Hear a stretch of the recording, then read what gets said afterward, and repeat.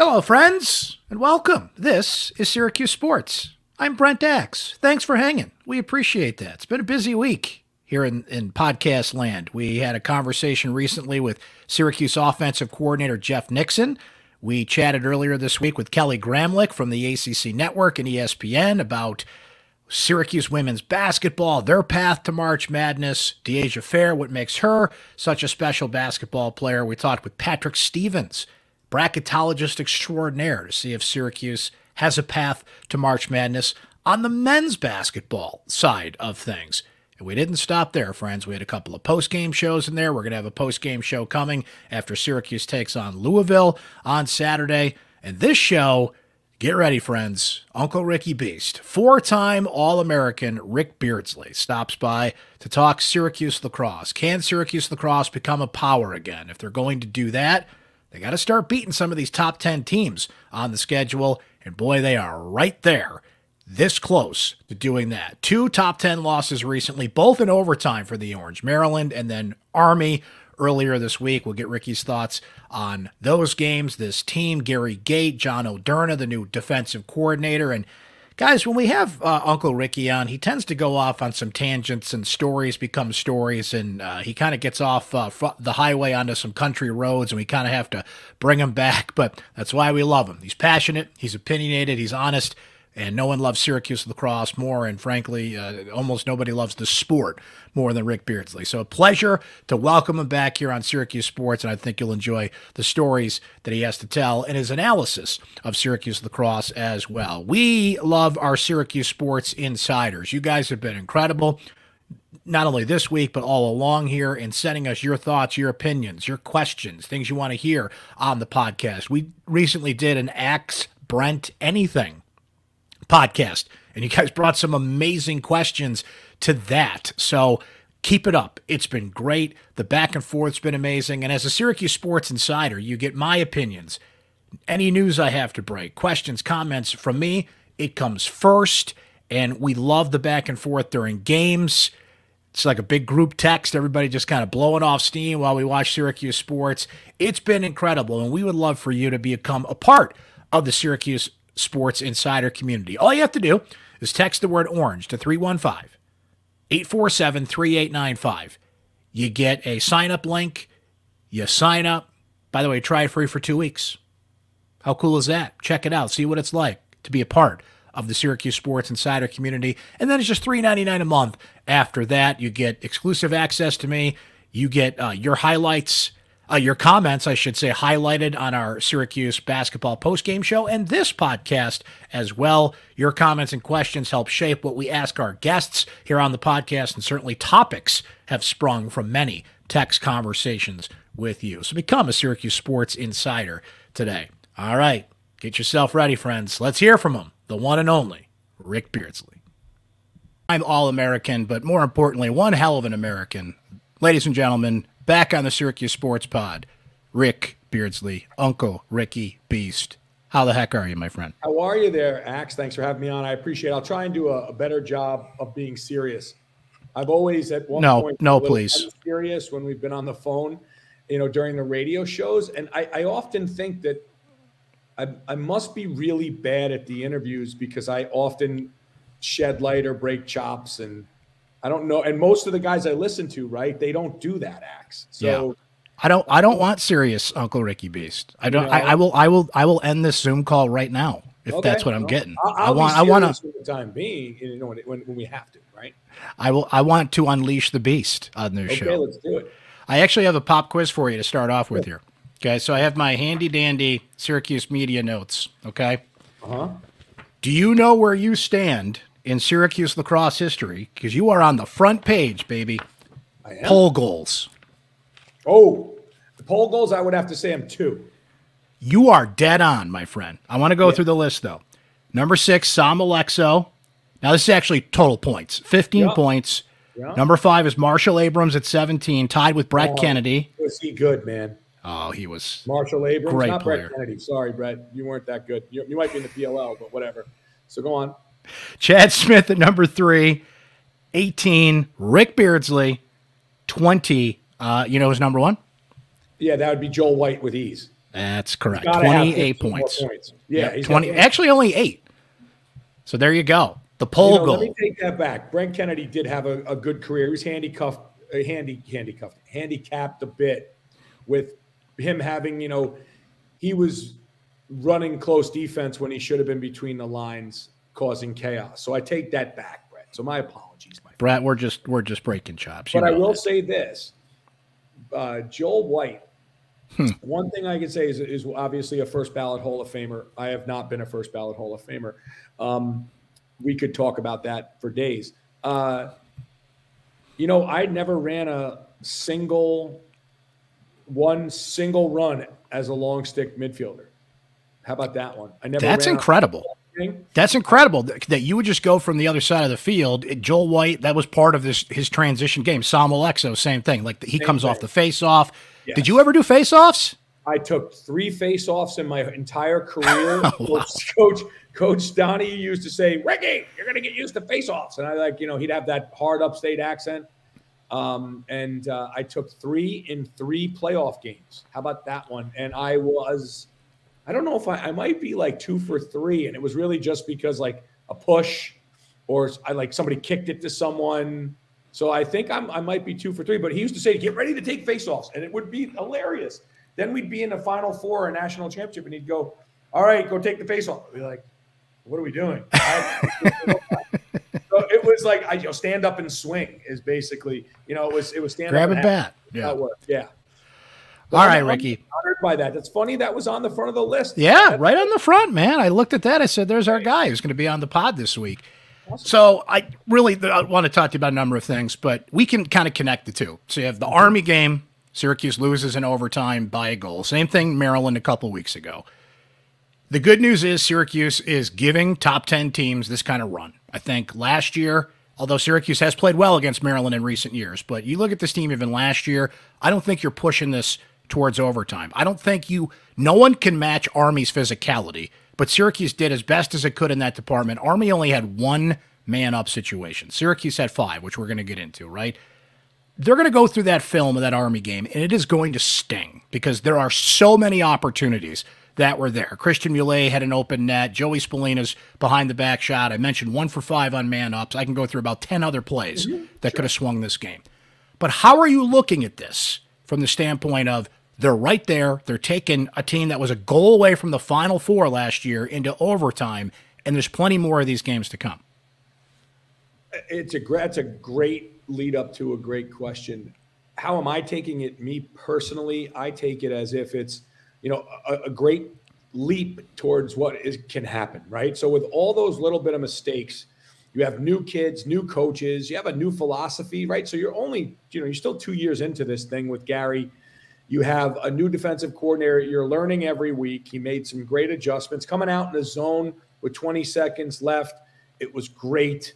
Um, I, I, that's the old John Desko move, believe it or not. He, John Desko would, you know, he was notorious. I don't know why guys, you know, obviously there was not the way people scouted, but that he was notorious for coming out uh, with like under a minute, minute 30 into a zone right off the bat. Mm. And it would take, uh, you know, that's why we learned as our coaches, number one, we learned that come out and if they go into a zone, and just say it, if you go into a zone, hit a 14, and then you're good to go. But I think, um, you know, the one goal losses are one goal losses, right? The the better team, according to the rankings, are winning.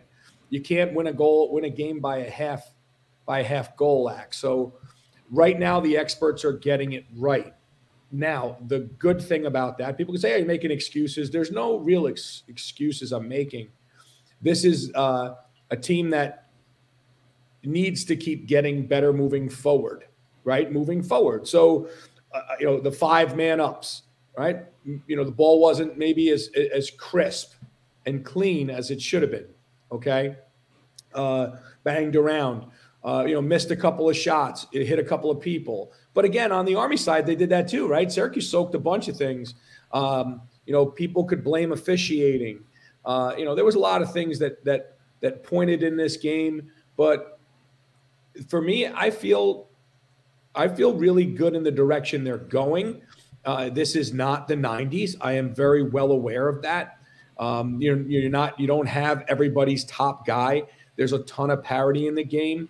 Um, and you know you're trying to piece it together with the transfer portal. So there's a lot of moving parts on a team that you know hopefully just keeps getting better and better and better. But for me, I feel good about it as an alum. I've I've gone to the social media to defend them, uh, and you know guys are giving me you know a little bit of crap, and, and that's fine. Comes with the territory because all is right in the world, Axe.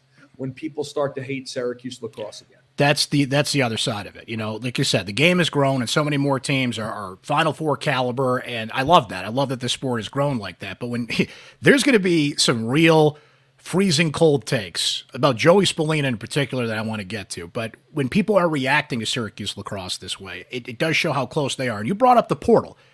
Yesterday's game, for example, we're talking on Thursday here. This is going to be released to the world on Friday, but mm-hmm. Christian Mule, three goals. Sam English, three goals. Instant impact from the portal right there, mixed in with Jackson Birtwistle. And these guys had to step up on the offensive end because heavy wears the crown of the 22, Ricky. I, I think people are going to really regret some of the things they're saying about Joey Spallina and how he doesn't come up in big games. And I think he's going to be fine. I think if, if you've watched five minutes of that kid play, you can just see the raw talent that's there. But Heavy wears the crown of the 22. The expectation mm-hmm. is you're going to have more than two assists in a top 10 game. You're going to have more than three points against Maryland. So there's an adjustment there. Both Gary Gait and Muley, speaking of him, jumped in at the press conference to defend Joey and the pressure that's on him, which I understand. But I think what we've got to keep in mind, Ricky, is he leaned into that pressure. He wanted the 22, mm-hmm. he embraced it. So there's a balancing act going on here. I, I think I do think in Joe in Joey's instance, you know, I don't think people might know the whole story, right? So, you know, yesterday the game plan, most likely, the way I saw it, was let's attack all the short sticks. Now, Joey being a coach's kid, it's very different than having Casey Powell. It's very different than having Charlie Lockwood. It's very different than having Mikey Powell. It's very different than having the no, numerous sets of 22s Okay. This is a modern day type offense. These are, you know, it's, it's more of a settled type offense. It's a one on one based, play six on six. You know, in my opinion, I already know what the game plan was because I speak to Joey all the time. So you're aware, right? You know, the, the game plan was to attack the short sticks. And when that happens, superstars have to take a back seat. Now, Joey is not the guy that's going to buck the system. So guess what? When he's asked those questions, he has no answers because he's not going to defend himself classlessly. Whereas, you know, maybe guys like me can do that, right? Or, you know, you know, coach Coach Gait can step up and take his players like he did. And Mule did, as I mentioned. Yeah. You know the Mule family. Let me just say this on a side note. If you know the Mule family, then you know that they're some of the toughest, most straightforward people in the world. Jimmy Mule's Christian Mule's dad and his uncle and his uncle Gerard. This is a true story. May God strike me down, Axe.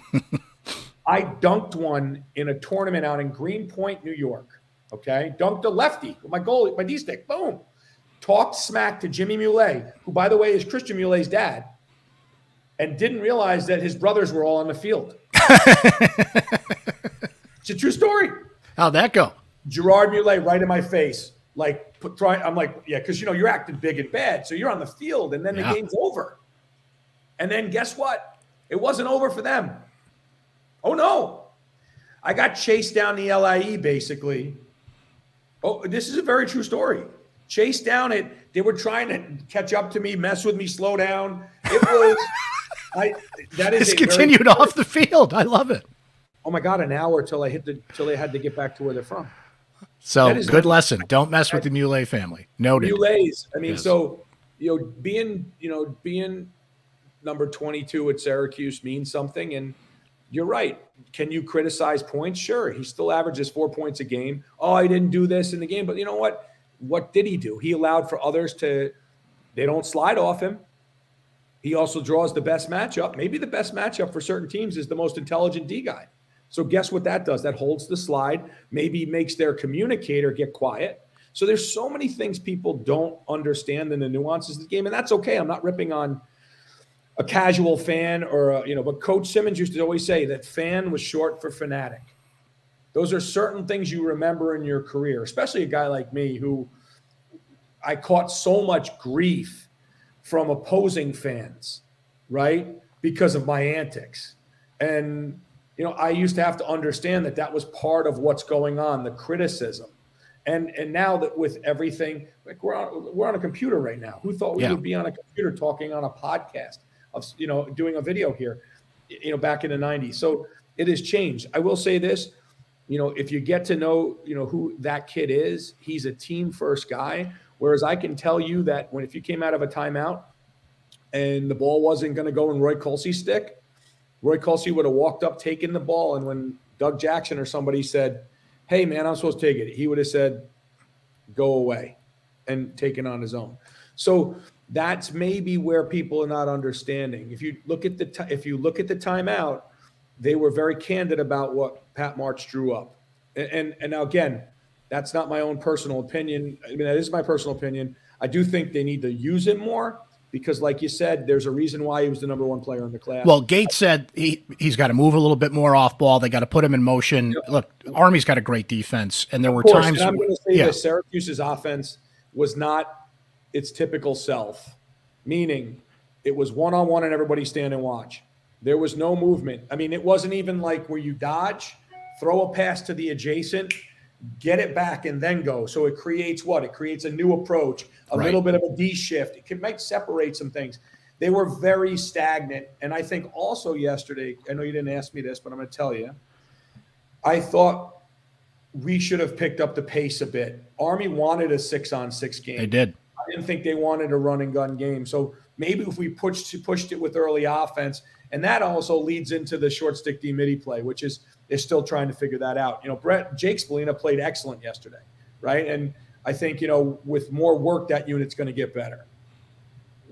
Ricky, uh, I want to get your perspective on the defense, of course, being a defenseman, and you got John Odierna running the defense. Now, it comes from Manhattan. All the numbers were impressive. I think they had the least amount of goals given up the past two years and different philosophy than Dave Pietramala, who is a legend, and I think it was a smart move on Gait's part to see if it would work. It didn't, and everybody moved on. And Dave's with his kids now at, at North Carolina, and no harm, no foul. Odierna brings more of a connectivity. He's younger. He, you know, this guy's he just played what 12, 13 years ago. So I yeah. think there's there's a generation gap that that's closed there. But what have you seen from his defensive philosophies? What have you heard about how he's running the defense, and just from what you've seen about what he's trying to do with it. I mean, I, I, I, we, I mean, I know Coach Odierna from you know in his days of an assistant at Manhattan. Then when he got the head coaching job, you know, I'm in the lacrosse world, selling in it, you know, the apparel side and the equipment side. So I deal with college coaches on a daily basis. I work, you know, some of the best showcases in America: Maverick Showtime, One Percent Showcase, NLF Futures. Uh, you know, I worked those two under, you know, the New Balance events. Now I worked the Nike All Star game. So I, I'm working those boys events. So I, I often have interaction, and, and he's been nothing but great. Um, you know, not many Manhattan games were on TV. So when the job came up, and you know, you and I spoke, and I said I had interest. Mm-hmm. You know, mm-hmm. you were nice enough to pop that piece in there, and I'm sure that got a lot of clicks, which is good. Um, and you know, he's done, in my opinion, he's done a great job. Uh, remember, he has kids that he didn't recruit. Okay. Yep. He's got to deal with whatever is there. And I mean that with not a not no negative connotation. He has to deal with what he has there. So now you're talking about going from maybe a very complex slide scheme that maybe those kids were trying to wrap their heads around at with with Coach Pietramala to you know John Odierna, who maybe he's dumbed it down because let's face it, the athlete he's getting at Manhattan College is going to be a little different than the athlete he's going to get at Syracuse. So, you know, and I, and I mean that with respect athlete, not lacrosse player, athlete. People are recruiting athletes on the defensive end of the field these days and then turning them into what they want. Now, the biggest bonus that they have is really, I'm going to say this Billy Dwan the third is like a third is, is a coach. His dad, his uncle, uncle's at Loyola. I grew up with those guys, very lucky. Uncle is the defensive coordinator at Loyola. Dad was the associate head coach for a gazillion years at Hopkins. Billy Dwan has really stepped up. And I think he's doing things with the defense as far as Coach Odierna is that are, are, are he's working within what he has and making it and maximize. He's also still trying to figure out the combinations. right? We saw that with, you know, in the beginning of the game, it was Kekemo was on the close defense, and then all of a sudden, boom, when Jacob Moore, number 90, who I love from Army, he's the greatest kid from Auburn in the world. Who does Auburn kid, yeah, local kid. kid. Who does not love that that kid? And boom, Kekemo would shift up, bang, Shorty would go down to his guy. So they were playing with some things early to figure out how it would go. So when you do that, that's what says to me you're trying to still figure out who the number one is, or you have a bunch of guys that you're just trying to plug and play versus a matchup. Like maybe Kekemo was better. He could handle he, as the fourth guy. He can handle being up top, right? But if it's down low and he gets stuck, he's gonna be able to handle down low. So he was versatile, right? Whereas you take 51 right off the bench, you know he's a long stick. You can tell he's a long stick, right? Saam Olexo was probably their best cover guy, but you lose a lot of him if you put him down low. So he's yeah, trying to plug and play the best way that he can with his defense, at least from my standpoint. And then I, you know, you talk about the short stick D middies. Now, please, folks, don't kill me for this one. I was wondering who the ball boy was in the number 19 jersey. Like, I was really trying to figure out who the ball boy was on the field. This is He's got wheels. I'll tell you that. I'm glad that he does. Okay. I'm glad that he does. But he got stuck on defense and exploited. Wyatt Hoddle. That's your guy, yes. Wyatt Hoddle. 100 guy. 5'7, 150, Westminster, Maryland. Freshman. Yep. And, yep. And he's a Calvert Hall guy. He's well coached. But I'm going to tell you, boy, he played a lot yesterday. And guys like, you know, guys like, guys like, they're all at Roa, they're sitting on the bench. Like, come on. Like, you, you know, with the face offs.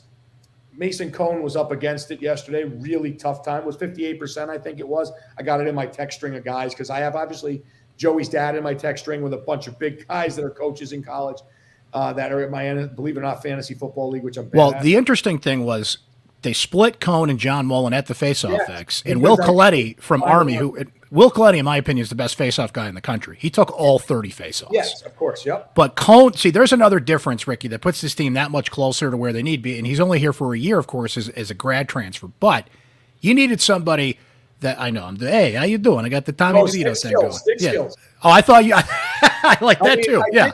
Danny DeVito. I mean, what is it? Tommy DeVito does yeah. live down the street from me in Jersey. To be honest with you. There you go. Yeah, go over, go over and have some uh, some cutlets with Tommy Cutlets. Yeah, anyway, before I, I, get off track and forget what I'm talking about here. Are talking about I, the face-off guys? I kind of yeah. have, but yeah, Cone, his hockey mentality, the physical nature of it. You need somebody that could punch back against Army. And like you said, the weird thing about that that game was your typical Syracuse Army game is like 9-7, right? This was a higher scoring game. Army's got a lot. They had four guys score three goals. They want to go. They have the athletes to go. And Syracuse kind of figured that out later in the second half.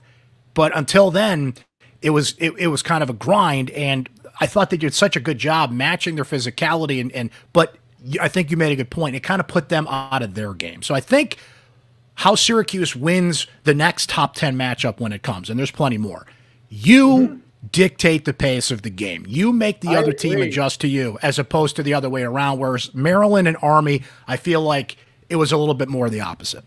I can tell you that one thing I learned, and I know that I'm just like a failed high school coach, right? Apparently, but uh, state you know, champion learned, failed high school coach. Yeah, I, I, know yeah. I've learned a little bit in my day, and one big thing I've learned is even if you're outskilled, come out throwing punches, put people on their heels right away. Now, I'm not saying that Gary has to do that. That is just my philosophy on the way I play, the way I coach you know, when I've learned in high school, the best thing about being a high school coach um, is not the parents, number one, but the other best thing about being a high school coach is that you have certain limited talent. So when you have, for example, I was at CBA for so long, they didn't plow fields. So I played a lot of unsettled in a gym. So when we got into a game, everybody was like, why are we, you know, why would we do six on six? No, I would go 180 miles an hour to create chaos because that's what my guys are used to playing in is chaos. Now I've learned teams that are athletic and disciplined, like an army, Okay, extremely athletic, extremely tough. There is, listen, let's be honest, they're the toughest that they come. It's an armed force. We want these guys to be this. Yes, we you do. know, we want them. Those guys, their alumni. Thank you, thank you for all the terrible comments you've said about me and and all the things you hate about Syracuse. But I will never ever underline the fact that, man, thank you for your service because the truth is they have to be this way. And if you know what, blowing off a little steam and being proud of what Army is and beating up on Syracuse a bit, good. But my point is simple. That culture, that person that they have on that side of the field, you have to challenge with the things they're not used to. And on an athletic field, it's very is almost like a battlefield. You know, you're you're going to have to challenge them with that adversity, and then they're going to obviously regroup and come back at you, which they did. But you want to continue to just throw punches as much as you can. That's just me. I do think that that was the difference in those games, like you said, just not coming out swinging.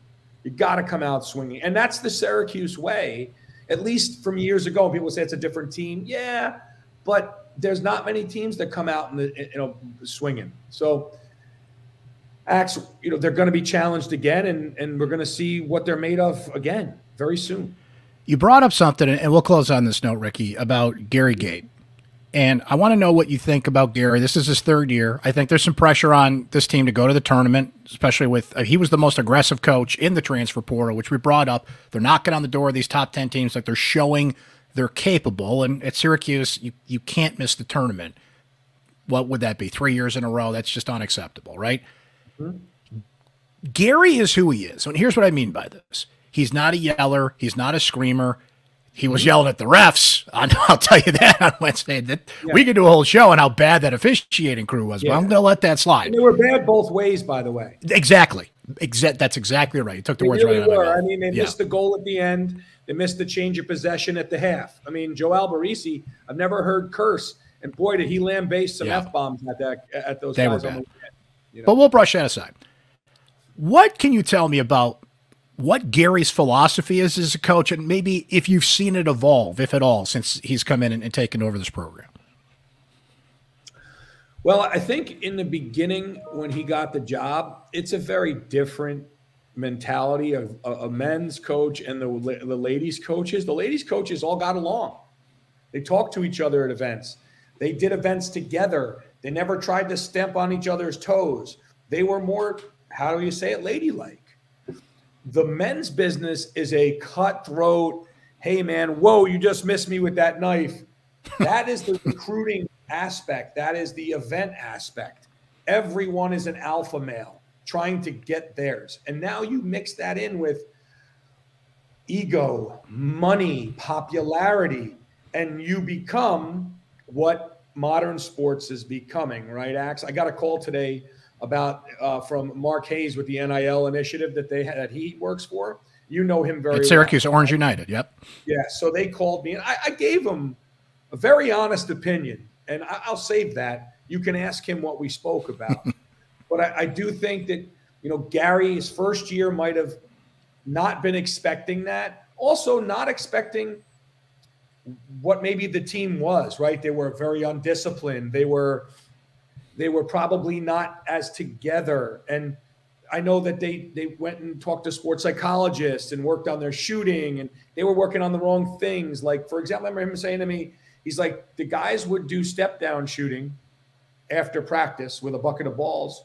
when they were middies on the run instead of working on the middies on the run shooting. Now, you're right. When you have your certain craft, you should master your craft. Now, that shooting does help, really mastering and getting better is doing that extra work on the run, right?